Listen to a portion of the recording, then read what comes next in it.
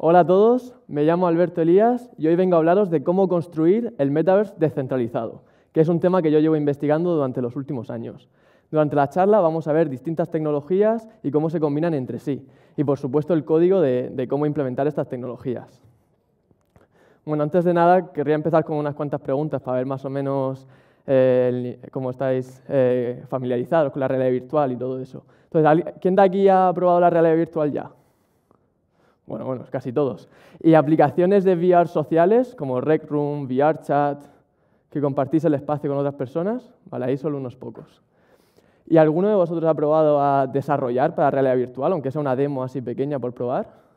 Vale, unos cuantos. Bueno, pues ¿qué es el metaverse?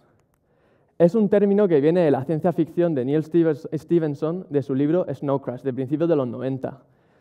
Y aunque el término en sí no se ha utilizado mucho más en ciencia ficción, la idea del metaverse sí se ha visto mucho más, sobre todo en Ready Player One de Ernest Klein, que lo trajo al cine Spielberg el año pasado.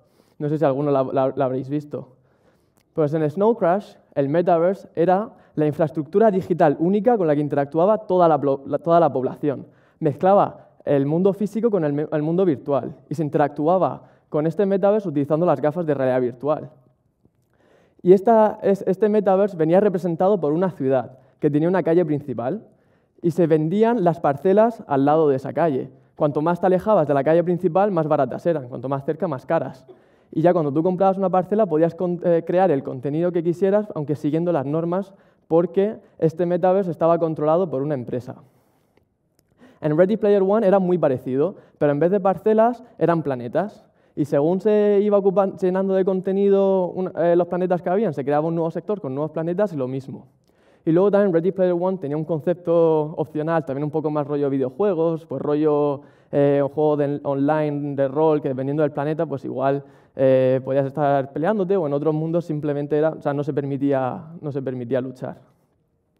He cogido algunas imágenes de la película de Ready Player One para mostrar la variedad de mundos que puede haber. Este, por ejemplo, un mundo así de hielo, que podemos ver que hay como una guerra, todos los avatares que representan a personas reales están en algún tipo de guerra. Este otro es más parecido a un lobby, mucho más tranquilo, con otro estilo artístico también. Esto es una calle donde puedes ir a comprar mejoras para tu avatar o buscar misiones, o igual hay juegos arcade también, así más rollo cyberpunk. Este, por ejemplo, esta es una escena que es distinta en la película del libro. En la película, como vemos aquí, es como un taller enorme, mientras que en el libro era más como un sótano que pertenece a un personaje que decide personalizarlo según sus gustos y solo permite el acceso a sus amigos más cercanos. Entonces, pues igual tiene pósters de las películas que le molan o tiene máquinas arcade de los juegos que le, que le gustan. Estas dos últimas imágenes no son de la película. Estas son representaciones 3D que se pueden visitar en realidad virtual hoy en día. Entonces, Basado en esto, ¿cuáles son los componentes de un metaverse? Pues básicamente que el contenido tiene que ser en 3D, como en la vida real, como aquí. Que ese contenido está conectado entre sí, no hay que eh, cambiar, comprarse otras gafas para ver el contenido, no hay que ir cambiando de, aplicación, eh, no funciona uno en un sistema operativo y no en otro. Que puede haber cambios persistentes. Por ejemplo, volviendo al sótano, imagínate que es la, es la sala de un colega, yo voy a visitarle y le regalo una máquina arcade nueva.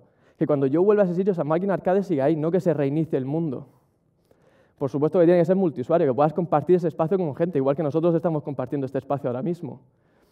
Y eh, que, se mezcle lo real con lo virtual, que por ejemplo personas, lugares, empresas tengan una representación virtual en el metaverse.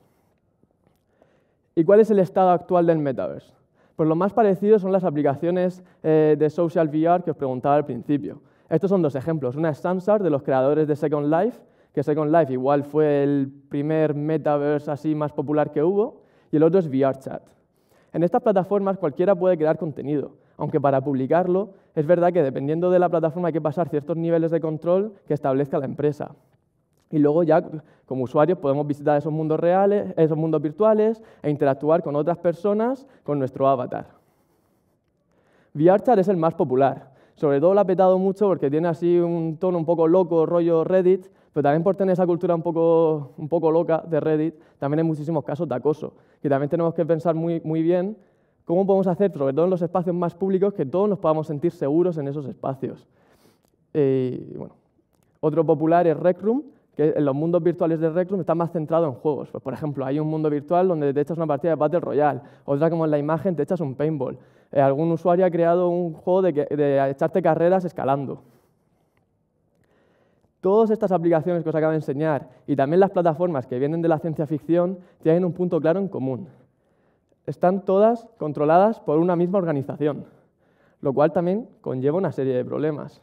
Porque, por ejemplo, para publicar contenido igual tienes que pagar o igual tienes que seguir una serie de normas impuestas por la empresa que ya significa que vas sometido a esas reglas y que esas reglas pueden cambiar en cualquier momento. ¿O qué pasa si la empresa cierra? ¿Qué, pasa con el contenido que has creado? O igual esa empresa, por la legislación específica de algún país, por rollo China, no puede funcionar ahí. Y luego, si la empresa es hackeada y esa empresa está controlando todos los datos de la infraestructura digital del planeta, pues podría ser gravísimo. Que obviamente, pues te imaginas que si es una empresa así, pues rollo Google hoy en día, que tendrá muy buena seguridad, y es verdad. Pero, por ejemplo, hace dos años, eh, Equifax que controla una de las principales empresas de crédito ahí en Estados Unidos y también por el mundo, fue, fue hackeada. Y eso significa que se filtró la información de 150 millones de personas de Estados Unidos, pero en plan el número de seguridad social, cuentas de banco, que, que puede ser muy, muy chungo. Y otro punto importante es que Facebook, tras la compra de Oculus en el 2014, es la empresa que más invierte en realidad virtual, pero vamos, por diferencia, por muchísimo. ¿Y por qué está invirtiendo Facebook tanto en la realidad virtual? Hubo un mail interno de Zuckerberg que se filtró donde explicaba sus ambiciones con la realidad virtual y la realidad aumentada. Y según podemos ver en estas citas, básicamente lo que busca Facebook es controlar la comunicación, el contenido, la identidad, los pagos. Básicamente quiere controlar toda la infraestructura digital. Y esto al final son los problemas que tenemos hoy en día con Internet, pero a una escala aún mayor. Y Sí, y de ahí viene la necesidad de descentralizar, de que cualquiera pueda crear un contenido, compartirlo y que los demás podamos consumir ese contenido sin tener que estar dando toda nuestra vida a cambio. Entonces lo que necesitamos es una plataforma en que cualquiera pueda crear el contenido, que cualquiera pueda eh, compartirlo y que ese contenido pueda quedar enlazado entre sí. No sé vosotros, pero a mí esto la verdad es que me recuerda bastante a la web. Y bueno, y tras esta introducción al metaverse y la necesidad de crearlo descentralizado, os voy a enseñar brevemente lo que vamos a montar hoy, que va a ser un mundo virtual hosteado en la web, en el que nos podemos mover, podemos compartir ese espacio con otras personas y que cumple los requisitos que hemos ido comentando. Así que bueno, vamos a ello. ¿Cuál es el primer paso? Lo primero que necesitamos es un entorno virtual. Para esto tenemos dos opciones. Uno es crearlo nosotros mismos con alguna aplicación de modelado 3D y la otra opción es pillarlo de alguna base de datos de contenido 3D. Entonces, para la primera, opción, las aplicaciones así más famosas son Blender y Maya, Blender que es gratuita y, de software libre, pero estas son aplicaciones de uso profesional, tienen una curva de aprendizaje alto, pero es verdad que puedes hacer lo que quieras con ellas, son completísimas. Otra opción aquí podría ser utilizar aplicaciones como Chillbrush o Google Blocks, que voy a enseñar ahora, que son aplicaciones hechas para utilizar con realidad virtual son muchísimo más intuitivas. Esta, por ejemplo, es de pintar en 3D. Entonces lo estás creando tú y, es como mucho más tangible. Entonces son mucho más sencillas, pero es verdad que también son eh, menos completas. Esta es Google Blocks, que es para modelado así más en low poly. Y para las bases de datos de contenido 3D, las más populares son Sketchfab, sobre todo, y luego Google Poly. Para Google Poly es donde se sube el contenido creado con Chillbrush y con, y con Google Blocks. Em, lo bueno de aquí es que mucha gente sube el contenido y lo deja disponible para descarga gratuita. Y es la mejor manera eh, para empezar a prototipar muy rápidamente. Eso sí, hay que tener cuidado porque también sube la gente eh, modelos 3D súper detallados, súper currados, que pueden provocar problemas de rendimiento. Nosotros vamos a ir con esta segunda opción y he preseleccionado este modelo 3D, em, que creo que no sé, que es así lo poli, agradable, yo creo que pega con lo que vamos a montar. Luego falta el avatar. Para el avatar tenemos las mismas opciones. Podemos crearlo nosotros mismos o buscar un, avatar de, una de estas bases de datos, de Sketchfab o de Poly. Aunque el avatar sí que tiene un poco más de, complejidad, porque necesitamos, por ejemplo, que el avatar eh, siga nuestro movimiento en el mundo real. Si muevo yo la mano, que el avatar mueva también la mano. O, por ejemplo, si muevo los dedos, que, los dedos del, avatar también se mueven. Entonces, al avatar muchas veces eh, le aplicamos también como un esqueleto. A ese esqueleto le podemos aplicar animaciones. Pues, por ejemplo, si nos estamos moviendo, queremos que, que las piernas del avatar estén comandando también. Y bueno, hay una herramienta bastante útil para esto que se llama Mixamo, que si tú subes un avatar que ya has creado que tenga aspecto humanoide, automáticamente le aplica el esqueleto y puedes preseleccionar una serie de animaciones y luego descargarte ya el modelo completado. Y bueno, yo ya he cogido un avatar que ya tenía montado, que es el que vamos a utilizar. Entonces, lo siguiente es cargar. Ya tenemos el entorno, ya tenemos el avatar, tenemos que cargarlo. Si este, estuviésemos haciendo una aplicación nativa, probablemente recurriríamos a motores como Unity o Unreal, pero para la web eh, las APIs que tenemos son WebXR y WebGL. Son eh, APIs de más bajo nivel, pero vamos a utilizar un framework que se llama A-Frame, que se desarrolló en Mozilla. Es un framework para crear aplicaciones web 3D bastante intuitivo con soporte para WebXR. WebXR, así rápidamente, es una API que permite obtener los datos de posición y rotación tanto de las gafas como de los mandos. Con esos datos eh, creamos el frame y luego el frame se lo volvemos a mandar a, las gafas. Esto es un poco pseudocódigo, eh, porque no merece la pena ahora mismo entrar en, WebXR, ya que A-Frame se va a encargar de todo. A-Frame es el framework más popular para WebXR y normal, porque ya veréis que es súper intuitivo de utilizar. Hay aplicaciones como Supercraft o A-Painter que son como los sustitutos de Chillbrush y Google Blocks que hemos comentado y realmente si las probáis son muy completas. Los dos de abajo son juegos así más rítmicos, musicales, que también están muy divertidos. Y esta es una de mis aplicaciones de, realidad virtual favoritas. Se llama Mozilla Hubs. Realmente es bastante parecido a lo que vamos a montar ahora. Eh, te permite muy fácilmente eh, crear un espacio que puedes cambiar el entorno eso, con eso tienes un link, se lo pasas a quien quieras y enseguida, desde cualquier dispositivo, podéis estar compartiendo ese espacio. Bueno, A-Frame. Su API está basado en Web Components. Eh, entonces, este es, este es, el ejemplo de Hello World de A-Frame. Bueno, como podéis ver, es muy fácil montar una escena rápidamente. Utilizamos la etiqueta async, y dentro, que, que es como la etiqueta padre para, en el caso de A-Frame y vemos que cada etiqueta HTML representa un objeto 3D. Entonces ahí dentro, en la línea 5, tenemos el plano, que eso va a actuar de suelo. Y encima de ese suelo pues tenemos una esfera, un cubo y un cilindro.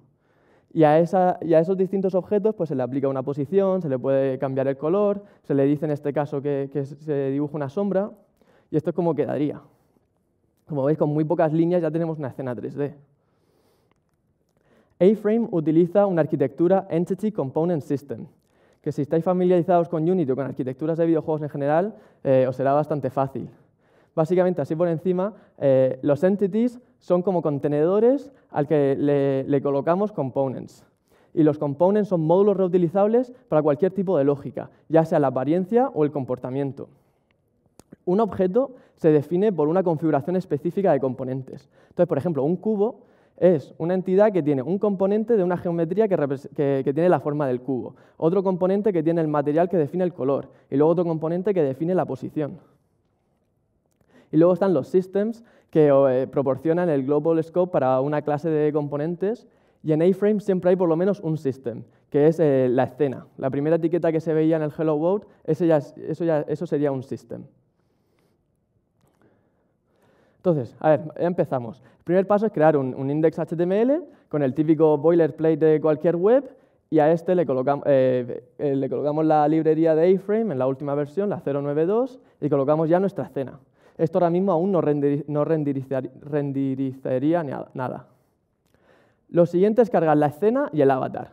A-Frame tiene eh, esto de los assets que permite precargar los assets, sobre todo que estamos cargando un entorno virtual, estamos cargando un avatar que puede estar más detallado. Entonces, dentro de esos assets, eso, definimos el avatar y definimos la escena. Vienen en, formato GLTF, eh, GLTF, que es como el JPG del contenido 3D. Y luego creamos una entidad para cada uno, que le colocamos el componente eh, GLTF model, que con el ID del asset lo referenciamos. Y luego para el avatar le colocamos tres componentes más, que lleva la cámara, eh, que significa que eh, la cámara, para lo que se va a estar viendo en la pantalla, va fijada al avatar. el look controls, que eso permite cuando movamos el ratón, se gira la cámara también. Y el siguiente, para que podamos moverlo con el teclado del ordenador.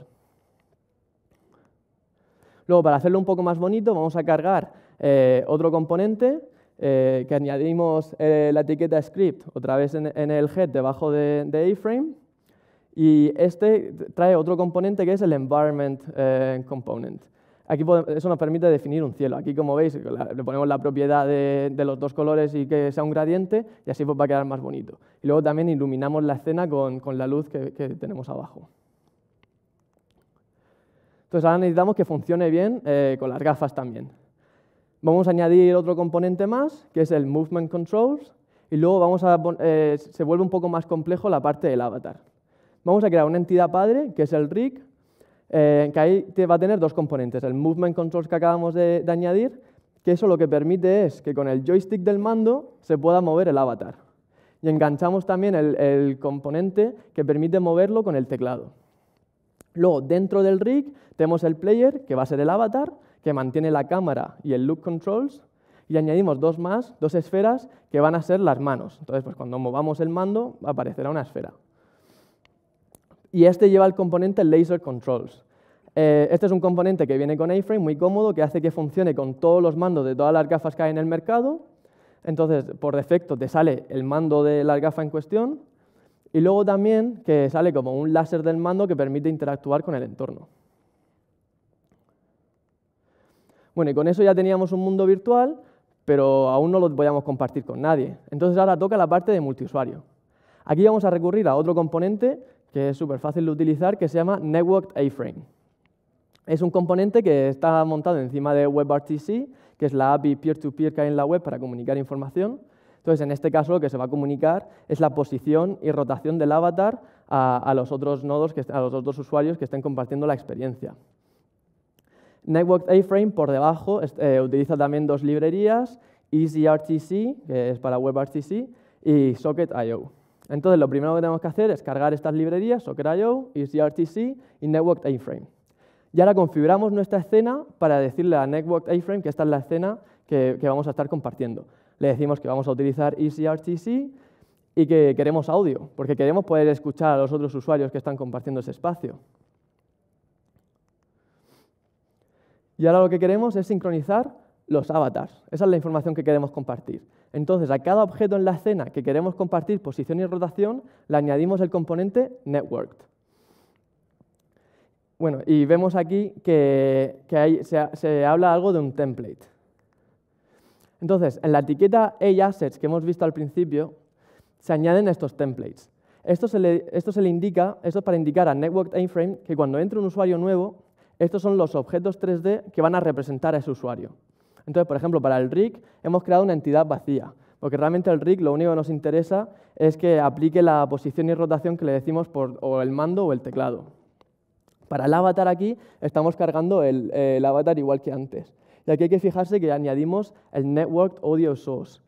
Así le estamos diciendo a Networked A-Frame que el audio de ese usuario está posicionado donde esté posicionado el avatar. Entonces, por ejemplo, si el avatar está detrás de mí, yo, voy a escuchar a esa persona hablar como si estuviese detrás de mí. Y luego hacemos lo mismo con las manos. Ahora tenemos que configurar el servidor para EasyRTC. Este es el servidor que viene de ejemplo eh, en el repositorio EasyRTC, entonces eh, no, voy a entrar mucho en detalle, pero es un servidor de, Node.js. Eh, le ponemos de dependencias Networked A-Frame, que ya lleva también de dependencia EasyRTC, Socket.io, Express y todo eso.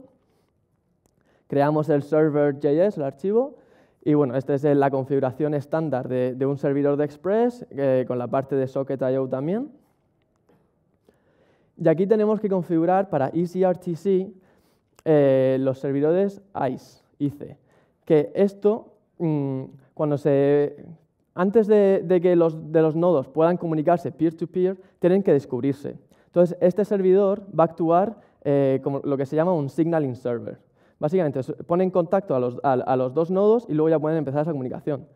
Pero a veces encontrar al nodo no es tan sencillo, porque el nodo puede estar detrás de un firewall o puede estar detrás de un, NAT, que que los NATs, por si no estáis familiarizados, eh, cuando se estaban empezando a agotar las direcciones IP versión 4, mm, claro, porque nosotros ahora en casa igual podemos tener 10 dispositivos.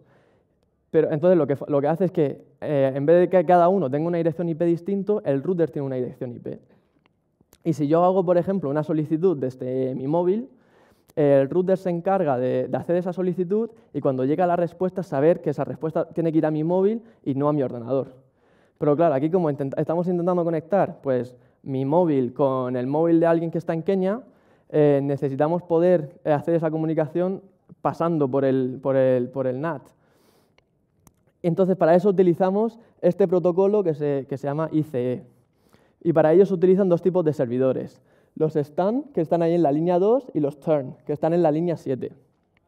Que básicamente estos son servidores que, ayudan a, descubrir estos nodos. Los stand no son nada costosos, entonces hay un montón gratuitos, Google ofrece estos. Los turn sí que son bastante costosos.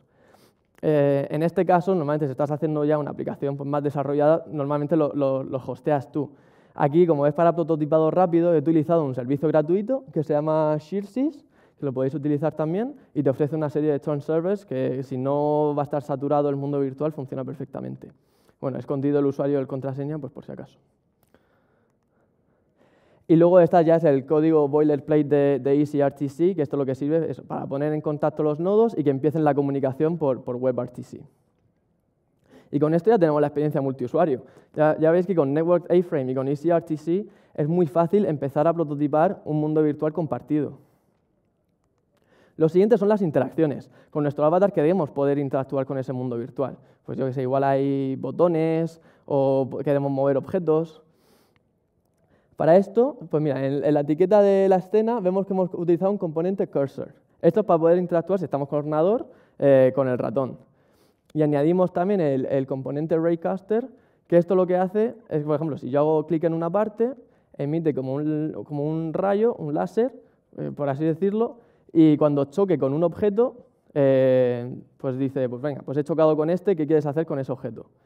Yo aquí le estoy diciendo al Raycaster que solo quiero interactuar con entidades que tengan la clase clickable. Y luego hacemos lo mismo con las manos. Para el láser que sale de las manos, que, vamos a interactuar con los objetos eh, con la clase clickable.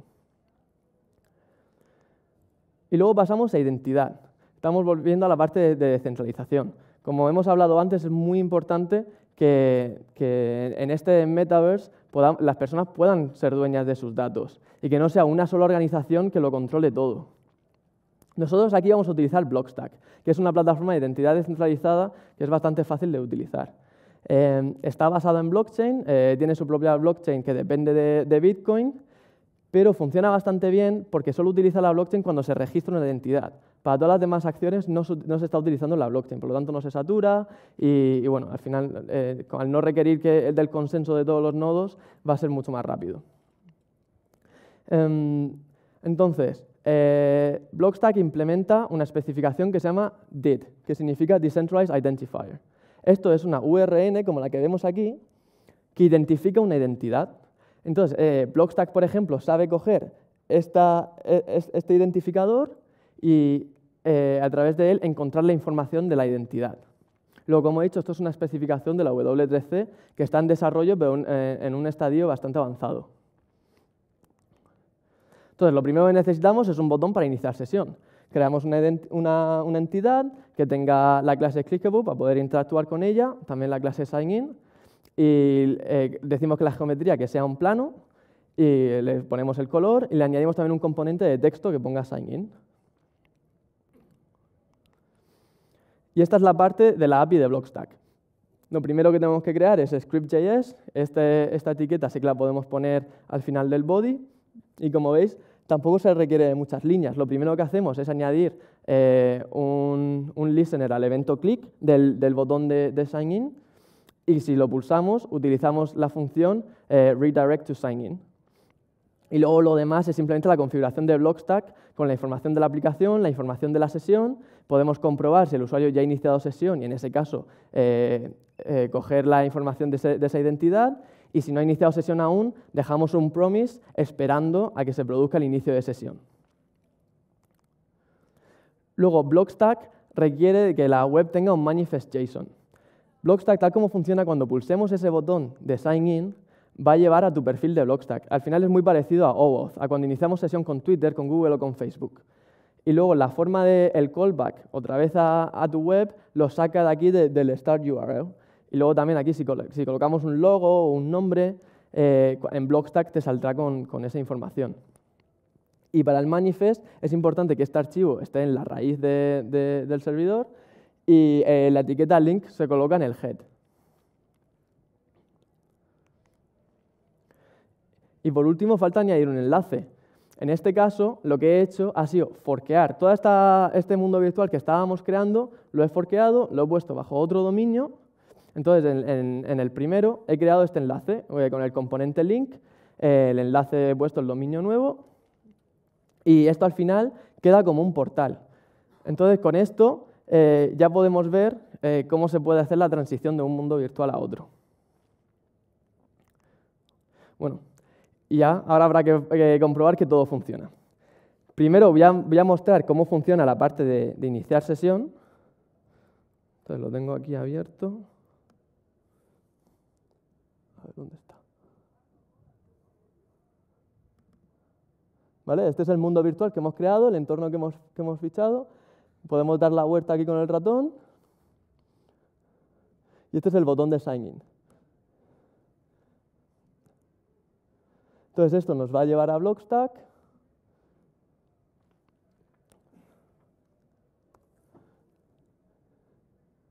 Ha pillado el nombre de nuestro manifest JSON, nuestra URL y qué identidad queremos utilizar. Pues ya tengo yo esta creada y ya produce el inicio de sesión y ya tenemos ahí una identidad que nosotros podemos estar controlando. Y luego desde el mundo virtual eh, podemos asociar distintos datos a, esa identidad y si vamos a otro mundo eh, decidimos qué queremos compartir con cada aplicación. Ahora me gustaría hacer una demo de la parte multiusuario con alguien. Si alguien quiere ponerse las gafas y probarlo conmigo, ¿algún voluntario, por favor? ¿Vale?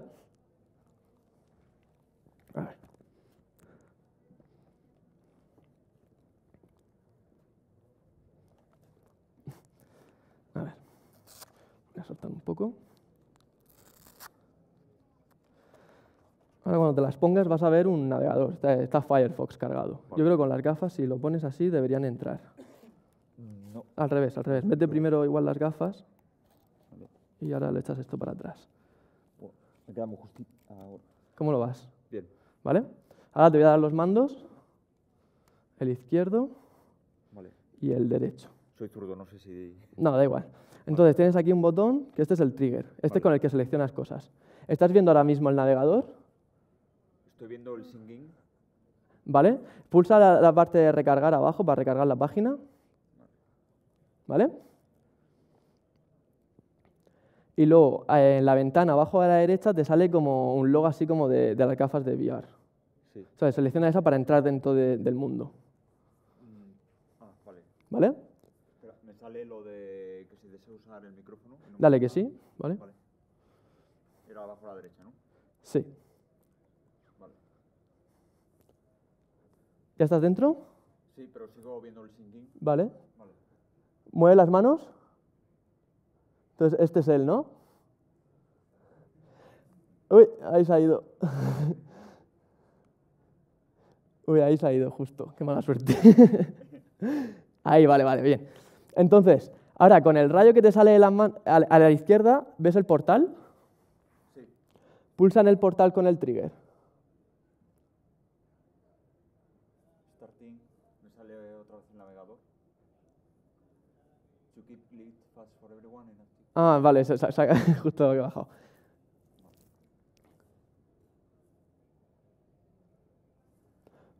Bueno, aquí fijaros en esta URL para ver. ¿Estás ya en el otro? cargando. Vale. Bueno, estoy con el hotspot a ver qué tal va el wifi.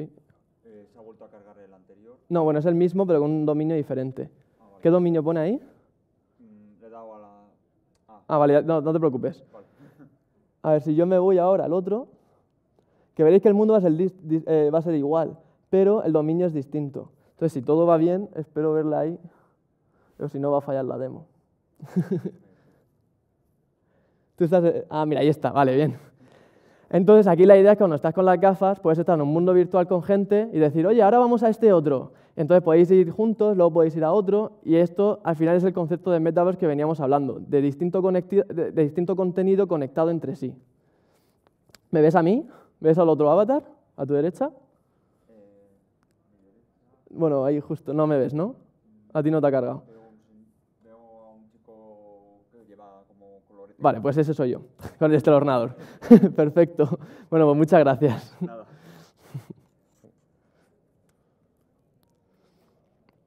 A ver. Sí, mejor por detrás primero. ¿Qué modelo es esta? ¿Qué? Las Quest. Quest. Sí.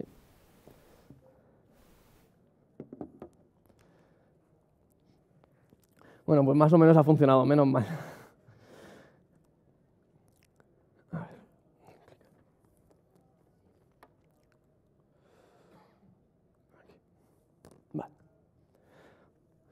Bueno, pues ya está. Con eso ya lo tenemos todo montado. Y ahora ese enlace pues lo podemos compartir con quien quiera y, compartir, y convivir en ese espacio con esas personas y como hemos visto, pues podemos crear portales a distinto contenido según nuestros gustos. Y bueno, ya para aterrizar, vamos a recapitular lo que hemos ido montando hoy. Aquí a la izquierda tenéis el index HTML completo. Son 50 líneas apenas. Y de, esas 50, realmente en el body hay 30. Como podemos ver, A-Frame realmente es un framework muy intuitivo. Y con A-Frame eh, se pueden eso, crear webs 3D que funcionan con WebXR muy rápidamente. Y lo hemos utilizado para cargar el entorno, lo hemos utilizado para cargar el avatar y para darle el soporte para realidad virtual.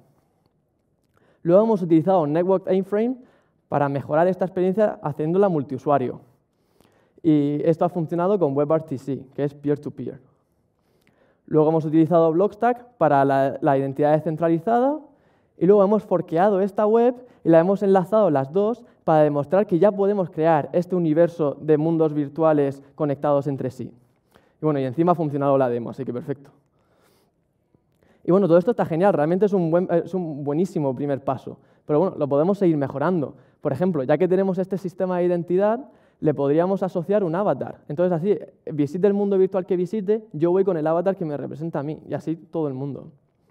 Luego estábamos utilizando unas esferas para las manos para simplificar, pero está mucho mejor si tenemos unas manos reales y, por ejemplo, este mando pues, es capaz de detectar si coloco el pulgar aquí, si coloco el índice aquí, y con eso se pueden generar eh, gestos mucho más naturales con las manos. El entorno hay que personalizarlo para cada necesidad. Por ejemplo, puede haber un club de gente que le guste el cine y puede colocar o pósters o merchandising de películas clásicas.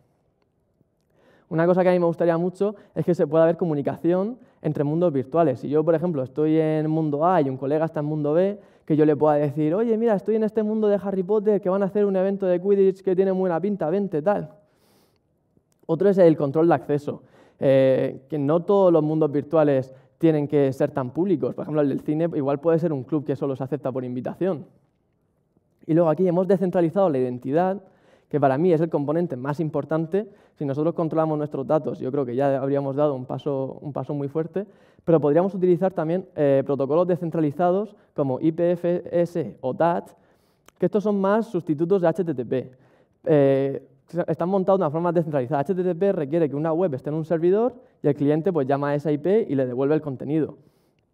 Aquí, en vez de que la dirección sea de un servidor, eh, la dirección va a un contenido y ese contenido puede estar en muchas partes de la red, incluso dividido entre distintos nodos. Entonces, por ejemplo, podría ser mucho más resistente a la censura que hay en China, en Turquía, etc.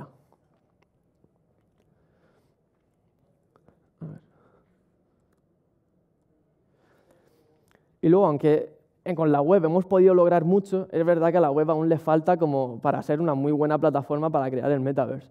Por ejemplo, faltan herramientas para desarrolladores, que sí, que iframe está muy bien y tiene una comunidad muy potente y hay cientos de componentes que te permiten em, crear algo muy rápidamente y hay incluso hay aplicaciones que están funcionando, como la de Mozilla Hubs. Pero eh, al lado de Unity, que tiene miles de componentes de una, de una calidad increíble, pues no está ahí todavía. Y también herramientas para gente que no sea desarrolladora. Yo quiero que cualquiera pueda crear su entorno 3D, pueda añadirle interacciones, que pueda publicarlo, y todo sin una sola línea de código. Y bueno, pues lo de SteelBrush y Google Blocks son un buen, primer paso. Y con Mozilla Hubs tú puedes ya tener tu entorno y compartirlo con otras personas, que vamos encaminándolo, pero todavía falta. luego está el tema del rendimiento. La realidad virtual tiene peor rendimiento que, que un juego ordenador, por ejemplo, porque va de 72 frames por segundo hasta 140. El ordenador ya con 60 ya da igual que vaya más. Y luego aparte tiene dos pantallas, uno por cada ojo. Estamos renderizando lo mismo dos veces. Entonces, por ejemplo, con las gafas de realidad virtual que van conectadas a un ordenador potente, podríamos esperar unos gráficos, yo diría, para, los desarrolladores que lo montan muy bien, rollo de Play 3. Para este tipo de gafas que llevan todo incorporado, yo diría más bien rollo Play 2. Pero la cosa es que aquí estábamos hablando de aplicaciones nativas. En la web es aún menos, tanto porque los desarrolladores que estamos interesados en el tema de, 3D en la web, pues no venimos de un background así más de videojuegos, entonces pues las herramientas están bastante menos optimizadas, como porque es verdad que la web no llega al nivel de rendimiento de nativo. Esto va mejorando con, cosas nuevas como WebAssembly, o ahora están con, con, una API nueva que se llama WebGPU, que creo que va a salir en Safari en la siguiente versión, y sí está mejorando, pero aún no estamos ahí. Luego están las capas de interoperabilidad. Antes estábamos hablando de esto de comunicarnos, estemos en el mundo virtual que estemos. Esa, por ejemplo, podría ser una. Otra podría ser un marketplace de objetos virtuales que yo pueda personalizar mi avatar y pueda tener esos objetos, esté en el mundo que esté y utilizarlos en todos sitios. Luego hay que tener en cuenta la realidad aumentada, que el contenido, eh, el contenido tiene que ser capaz de adaptarse tanto al mundo virtual como al mundo físico. Y luego lo más importante, que sea útil que esto está genial pues, para meetups o comunidades y lo importante es empezar a crear un montón ya para que cuando aparezca alguien nuevo pueda decir, pues sí, mira, hay un mundo virtual que se adapta a mis necesidades y que estas comunidades son activas, pero eso, ahora mismo te metes al contenido de realidad virtual y dices, pues no, probablemente no haya algo que se adapte a mí. Entonces necesitamos ya, que ya tenemos estas herramientas para empezar a crearlo, empezar a crear contenido realmente útil. Y bueno, ya para terminar, quería, quería incidir en todo esto, ¿para qué? Por lo primero, porque podemos. Por fin tenemos las herramientas para poder crear el metaverse. Después de estar este concepto en la ciencia ficción durante décadas, ya está aquí. Ya podemos empezar a crear este universo de mundos virtuales para distintas cosas, para distintas utilidades, ya sea, por ejemplo, para trabajo remoto, para juegos, para educación, para conocer a gente eh, más afín a nosotros, estén donde estén en el planeta. Y todo esto de una forma virtual, pudiendo romper las barreras del mundo físico. Es que esto es algo que podemos empezar a crear ya, y de una manera que no haya una sola organización que esté controlando todo, lo cual, como hemos ido hablando, podría terminar en una realidad bastante Black Mirror. Así que nada, muchísimas gracias y si tenéis alguna pregunta.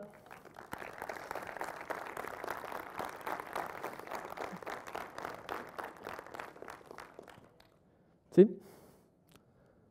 Bueno, eh, empieza tú si quieres aquí. Ah, vale, que hay micrófono. Hola, buenas. Eh, muchas gracias por la charla, está genial.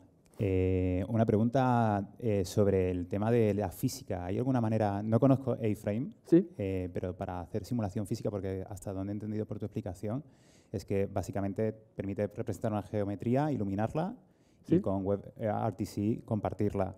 Pero aparte de eso, eh, simulación física, es decir, que, pudieras colisionar contra un objeto y te pudiera comprobar ese tipo de... sí, sí, sí, se puede. Hay, hay un componente además que se llama A-Frame Physics que ayuda con todo eso.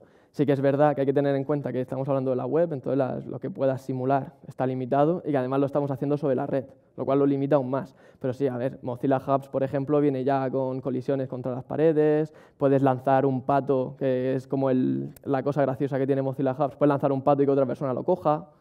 Entonces sí, sí, sí que hay cosas. Y entiendo que, claro, eso se ejecuta del lado del browser en el que está corriendo toda la simulación. Es decir, que en el caso de que, por ejemplo, en la Oculus Quest, si estás corriendo una, simulación física compleja, se ve un poco limitada por el, por el propio dispositivo, ¿no? Yo diría que está más limitado por, por la web y por la red que por el dispositivo en ah, sí. Vale. O sea, probablemente si fuese una aplicación nativa ya sí que estaríamos hablando de, la limitación del dispositivo, pero aquí probablemente sea más la limitación por la web. Ok, gracias.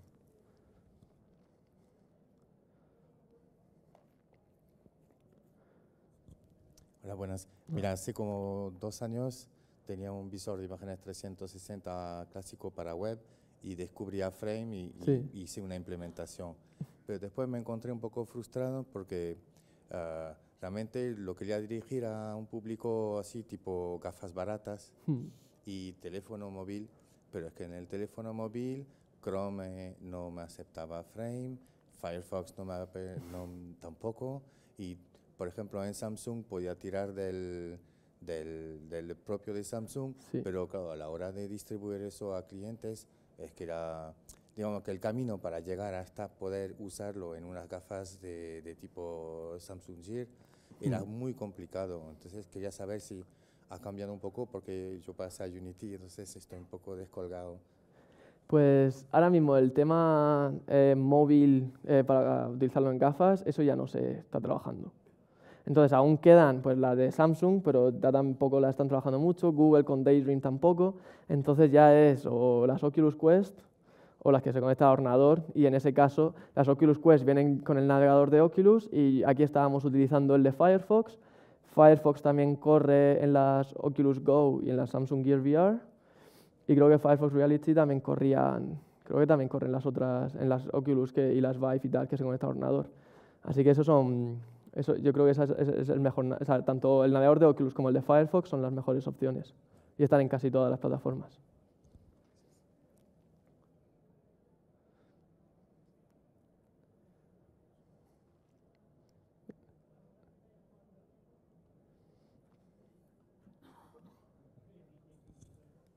En función del estatus que acabas de comentar un poco, ¿qué dispositivo recomendarías a día de hoy para la realidad virtual de uso? Este sin duda.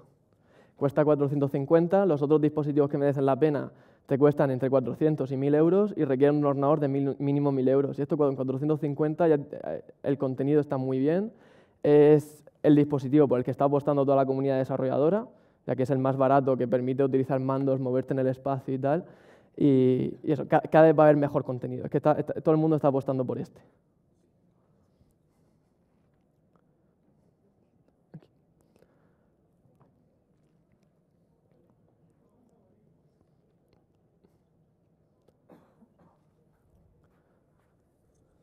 Bueno, en primer lugar, gracias por la charla.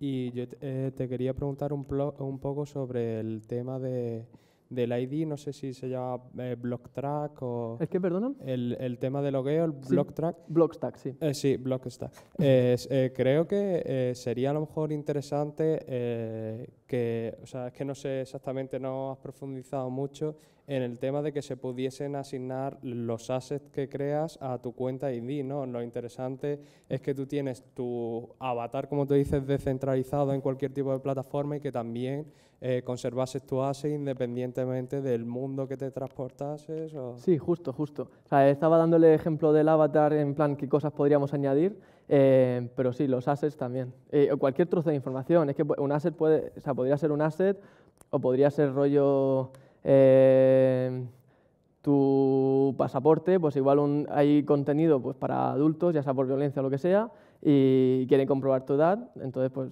tienes esa información que puedes utilizar en otro mundo virtual. Y en sistemas, por ejemplo, de blockchain, normalmente tienes que eh, pagar un feed por eh, guardar en, sea, en, la cadena de bloques, pues ya sea la identidad de de la persona o sean los productos, cómo los gestionas, o sea, ¿tienes algún tipo de pago, un feed? No... Hombre, probablemente quien cree un marketplace de intercambio de objetos virtuales, de assets y tal, eh, probablemente va a hacer que la interfaz sea lo más intuitiva posible, o ese fee va incluido en, la transacción cuando compras o vendes algo, o si son objetos gratuitos, probablemente sea la plataforma que vaya detrás quien, quien subsidie el gasto y luego probablemente no, haga falta registrar todo en la blockchain, o sea, depende del tipo de objeto, no todo tiene que estar verificado, que si yo creo una customización para mi avatar, que tampoco es en plan muy selecta lo que sea, igual me da igual, simplemente me la asigno al avatar y ya está. Entonces, que no, no, todo el contenido, no todos los assets tienen que pasar por la blockchain. ¿Y existiría la posibilidad de eh, creación de objetos dentro del mundo virtual? Por ejemplo, un tipo Second Life donde tú tienes tus prims, desarrollas eh, pues, el, objeto que quieras a través de prims y lo, se asignan como a tu perfil y tienes propiedades, por ejemplo, pues, que se puede transferir a otra persona o no copiable. Eso sí, sí, se puede integrar perfectamente. Eh, probablemente dependa de la plataforma de marketplace que sea y esa sea la que se encargue de asignar a tu identidad ese objeto y si lo, y si lo traspasas será a través de esa plataforma, aunque igual se acaban creando estándares para que puedan haber múltiples plataformas de marketplaces. eso es algo que tiene que ir desarrollándose y que tenemos que ir desarrollando entre todos. De acuerdo, gracias.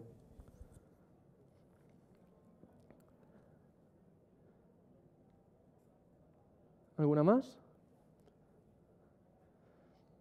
Bueno, pues muchísimas gracias a todos por venir y bueno, cualquier pregunta, aquí estoy.